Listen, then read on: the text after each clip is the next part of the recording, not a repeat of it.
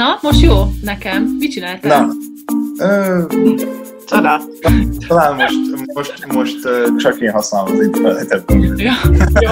Sziasztok! Nagy szeretettel köszöntök mindenkit. Ez itt a péntek esti interjú sorozatunk, amiben hétről hétre hallhatok beszélgetéseket közösségünk tagjaival arról, hogy ki hogyan éli meg a mostani helyzetet. Múlt héten Balkus Csaba és Balkus Virág mesélt nekünk a hétköznapjaikról. Aki lemarad, de szeretné visszanézni, az a Golgota Budapest YouTube csatornáján megteheti. Mai beszélgető társaim pedig Krály Janka, a Kölcsei Ferenc Gimnázium francia tanárja, és Német Ádám gimnazista lesz, aki most érettségizett. Sziasztok! Hello, hello. Hello!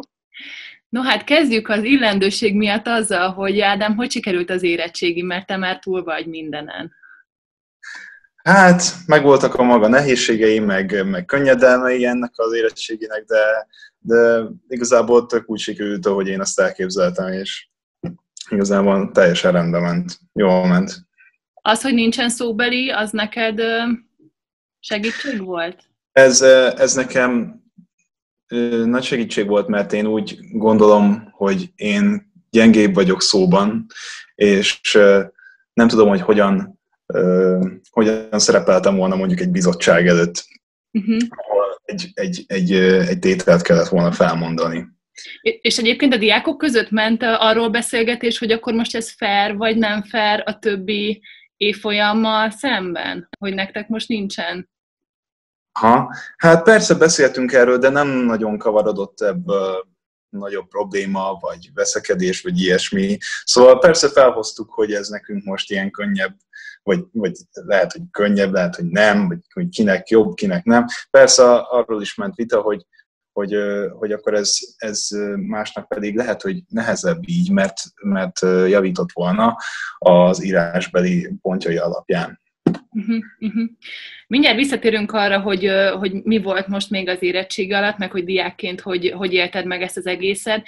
De Janka, te mesélj egy kicsit arról, hogy, hogy hogyan zajlott itt az átállás a kezdetekkor. Mert ugye amikor be- berobbant a járvány, akkor amit biztosan tudtunk, hogy lesz egy pár szakma, akiknek biztos, hogy nagy kihívás lesz. Ugye ez volt az egészségügy, az ápolók, az orvosok, de szerintem egyből a tanárokra is gondoltunk, hogy na hát a tanároknak sem lesz azért ez egy gyaloggalop, és, és nagyon nagy kihívás volt számotokra az átállás. Te hogy élted meg? És akkor most ugorjunk vissza három hónapot.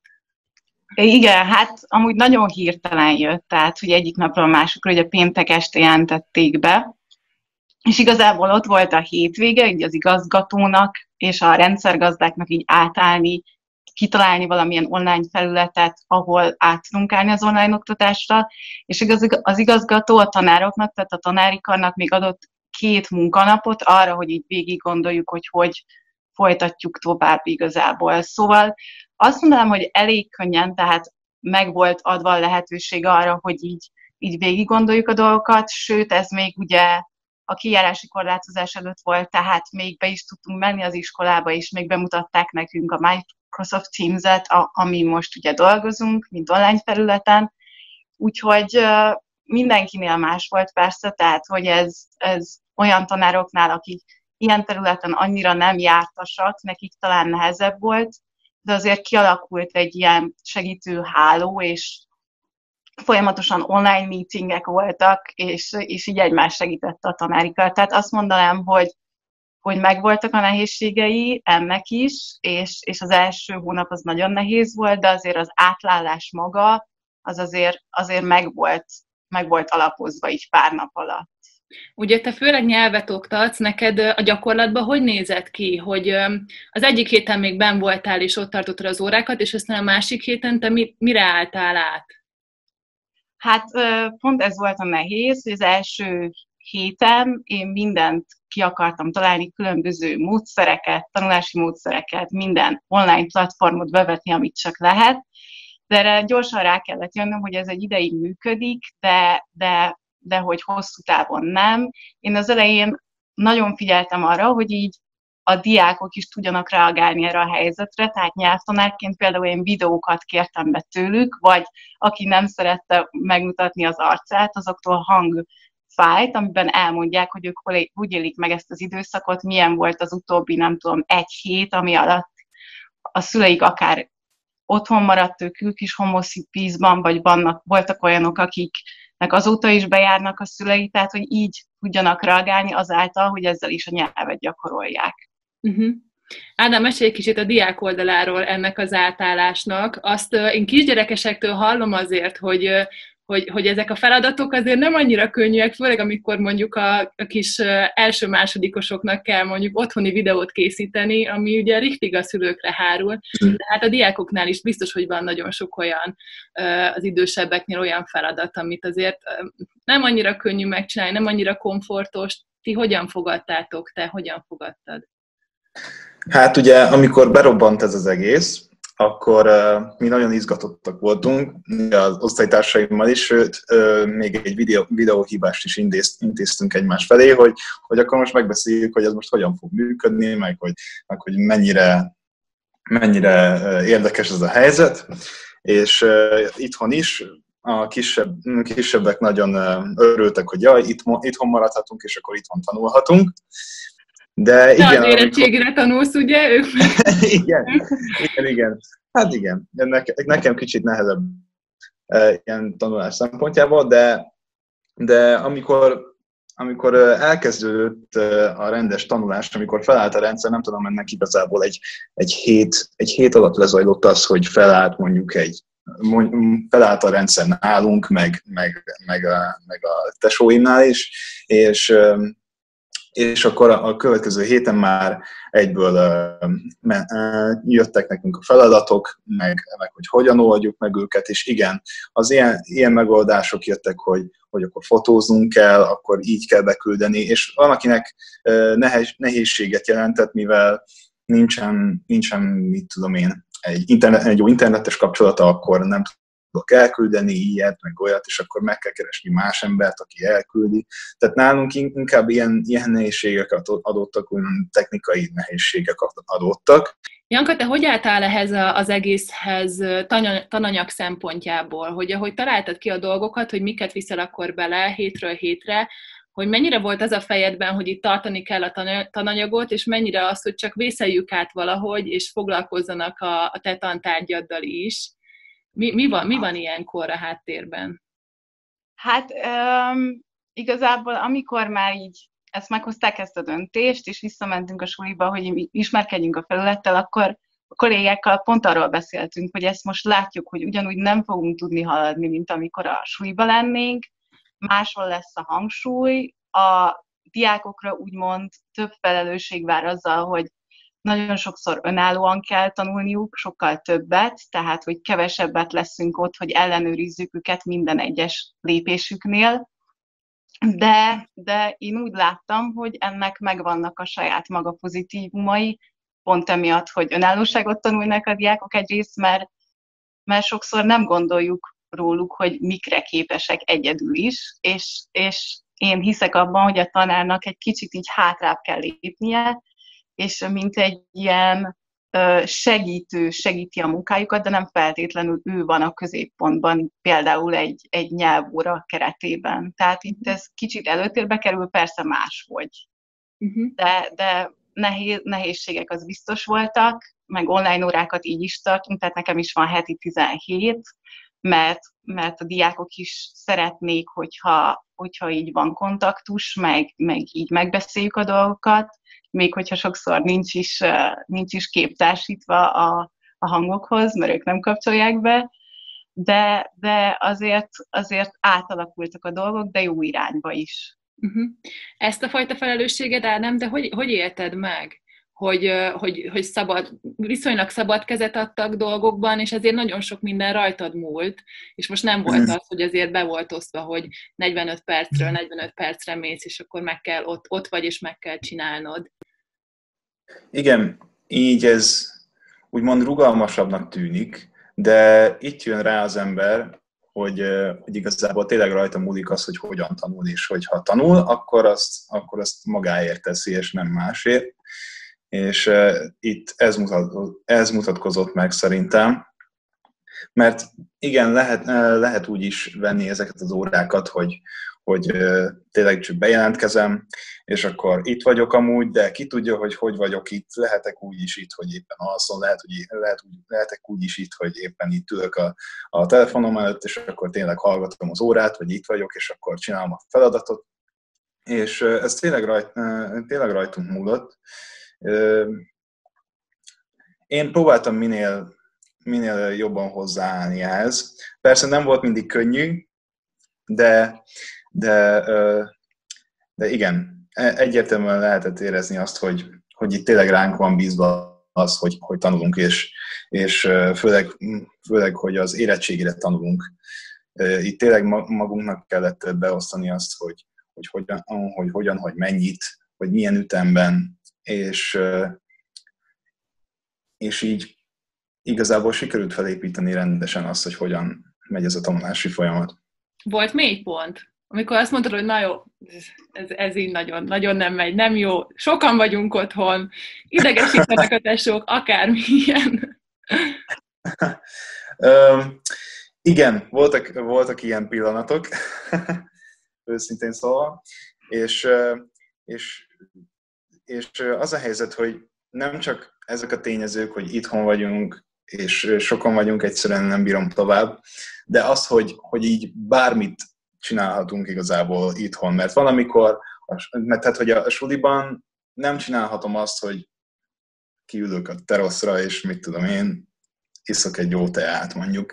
De itt ezt megtehetem, és bármikor, és, és igazából csak kiviszem magammal a telefont, és rendben vagyok. De akkor valószínűleg nem, nem tudok annyira figyelni, és ez, ez akadályoz ebben. És sokszor voltam ilyen, ilyen, ilyen, szituációban, amikor, amikor csinálhattam volna mást is, ami, ami igazából jobban vonzott, mint egy tanulási, mint amikor tanulok. Mhm.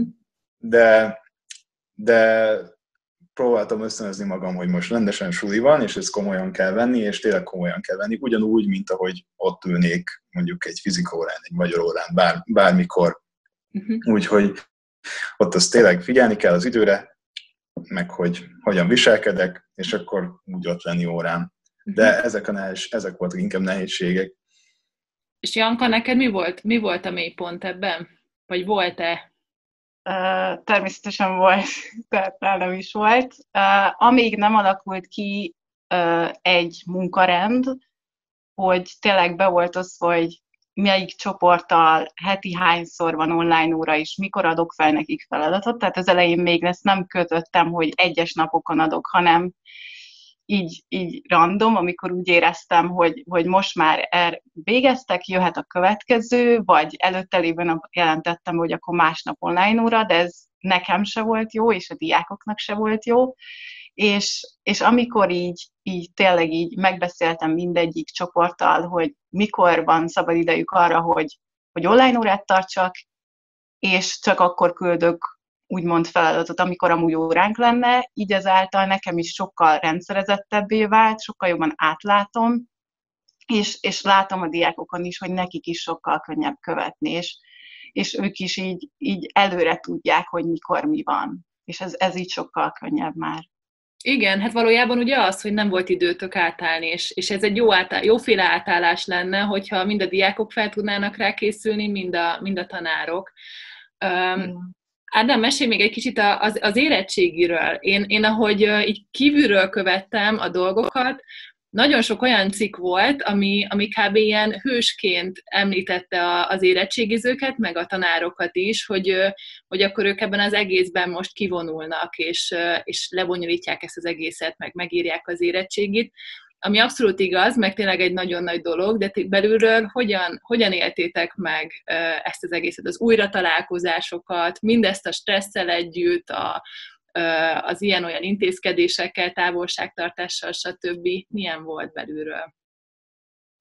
Hát őszintén szólva, ezt a, ezt a hősös, ezeket a hősös cikkeket, vagy nem tudom, ezeket a híreket így nem nagyon, nem nagyon követtem, így, így, így, így belülről olyan volt, mintha tényleg csak egy, egy, egy, egy nagy dolgozatra készülnénk, és, és, és csak tök hiányoznak a, a, az osztálytársaim, és tényleg nagyon jó érzés volt újra látni őket, meg minden, de, de így nem éreztem, mintha, mintha olyan hát, hogy is mondjam, mint olyan, olyan nagy dolog lenne ez. Viszont, viszont tényleg ennek átérzem a súlyát, hogy itt egy vírus van közöttünk, és bárki rá átszállhat. Nagyon érdekes volt, nagyon, nagyon, nagyon fura volt, hogy nem láthatom minden héten az osztálytársaimat, és ez, és ez így nagyon jó volt, hogy, hogy, hogy így pár napon keresztül igazából ott voltunk és tudtunk beszélgetni. Vagyis hát egy, kis, egy kicsi időt, mert hogy nem maradhattunk egy helyen sok, sok ideig, de, de igen, én nekem ez a véleményem, én ennyit, ennyit észleltem ebből, mint diák. Uh-huh. Ha most azt nézzük, hogy hogy szeptembertől újraindul rendesen a, a, az oktatás, akkor ti mit látok, és tudom, hogy te már Ádám nem, nem a gimnáziumba fogsz visszamenni, de hogy mégis mi az, amit, amit az oktatásban valószínűleg át, át fognak vinni, át lehet vinni? Janka, ti már beszéltek ilyenről, hogy, hogy esetleg majd beiktatni, vagy bevinni ezeket, amiket most így kitapasztaltatok a, a jövő évi időszakban?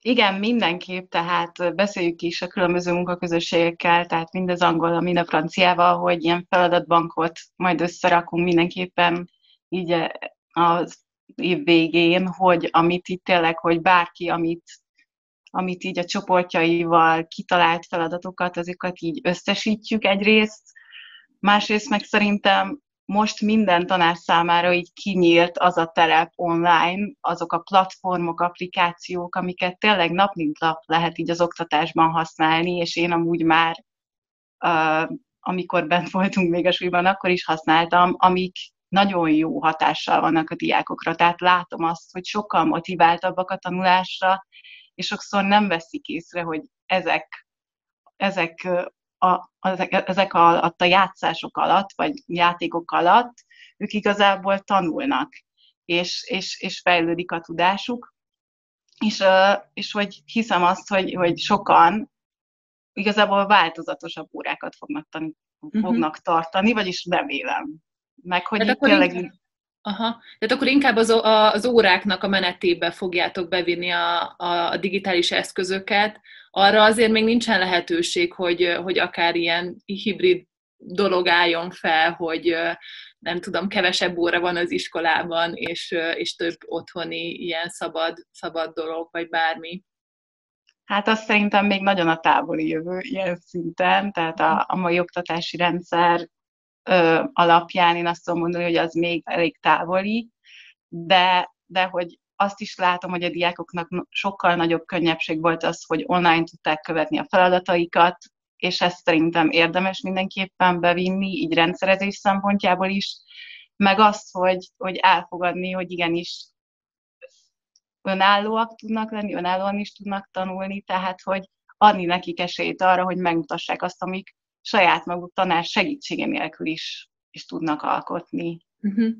Ádám, te hogy látod, hogy, hogy mi, mi volt az, amit, amit megtapasztaltál, és tényleg jól tovább vihető lenne? Szerintem, aha, ö, szerintem is ez, hogy, hogy, a, hogy a feladatokat ö, így mindig látjuk igazából az online felületen, így, így nyomon követhetjük, hogy hol tartunk tananyagilag, hogy akkor meg visszanézhetjük, visszanézhetjük a, az előző jegyzeteket, meg amiket, amiket a, a tanár feladat, és nekünk azt meg kellett oldani, és azt jó visszanézni, azokból gyakorolni, tehát hogy, hogy a tananyag ezek, végül is, ezek végül is munkafizetben megvannak, nem? Vagy, vagy miben, miben más az online térben ez?